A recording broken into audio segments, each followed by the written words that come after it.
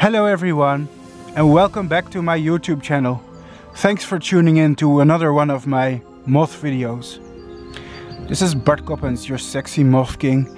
And today, one of the biggest silk moths that can be found in Europe has hatched in captivity. What we are looking here at is the uh, Saturnia pyri, that's the scientific name.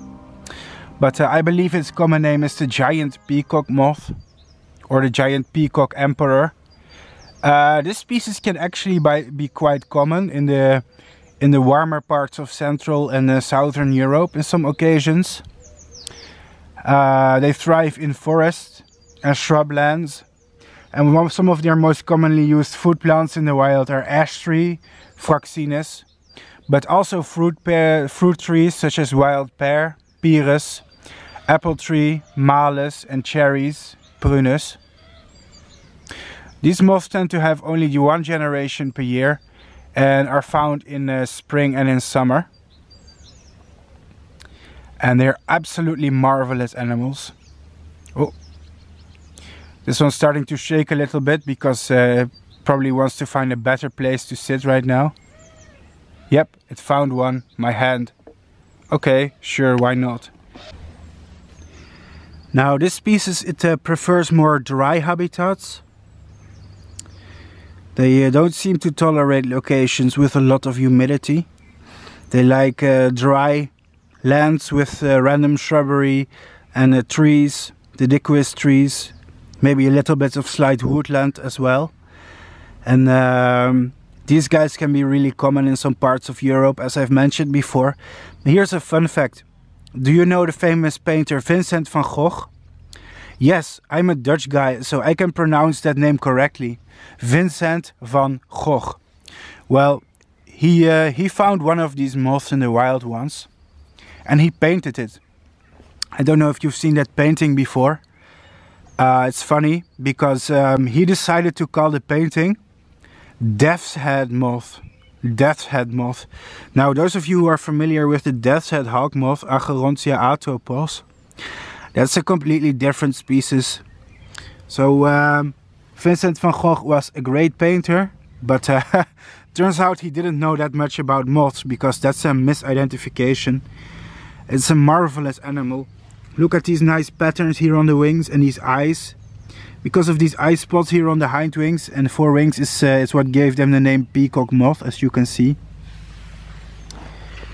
In captivity these guys uh, are not very hard to breed, but it's also not very easy. They can be a little bit sensitive to overcrowding and too much humidity, but if you keep them warm and dry and clean, then it's not so hard to breed it. It's a marvelous animal. It's one of the biggest and best moths that you can find in Europe. If you ever go on a vacation in France or uh, Italy or the Balkans or wherever in Europe, then um, if you visit in the right time of the year, especially a bit in early summer, then you have a good chance of seeing them. Uh, if you're not in a massive city, that is. If you go to some woodlands, and uh, that's just a beauty. Take a look. I believe uh, the list of host plants is very big. I uh, mentioned ash tree, um, fruit trees such as apple, uh, cherry, pear, plum, but uh, the list is much bigger. I believe they also, in uh, more rare occasions, eat things like willow, salix, and honestly a lot more plants than that as well. So it's quite an adaptable species.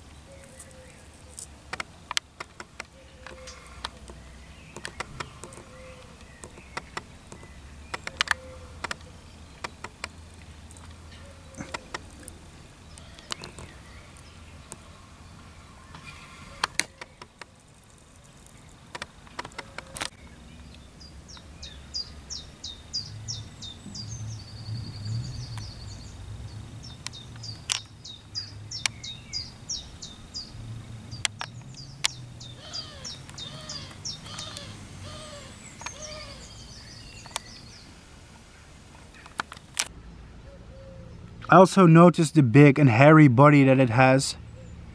It has a lot of hairs on its body. It's a very fluffy animal. And uh, that's because it's nocturnal. And uh, sometimes in bad years, the nights can be a little bit colder than usual. And uh, it doesn't bother this species.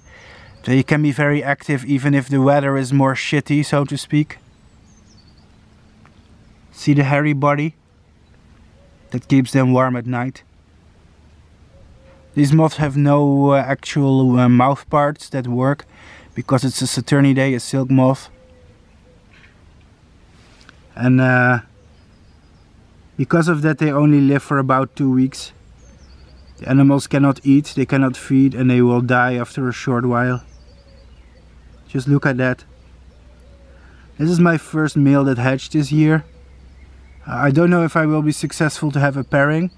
I don't have that many cocoons, so I need a little bit of luck. But uh, maybe if a female will hatch pretty soon, I hope so. Then I have the chance of reproducing them. It would be cool to show on YouTube the life cycle. But uh, I must be lucky to do it, to be honest. So please wish me luck and thank you for watching.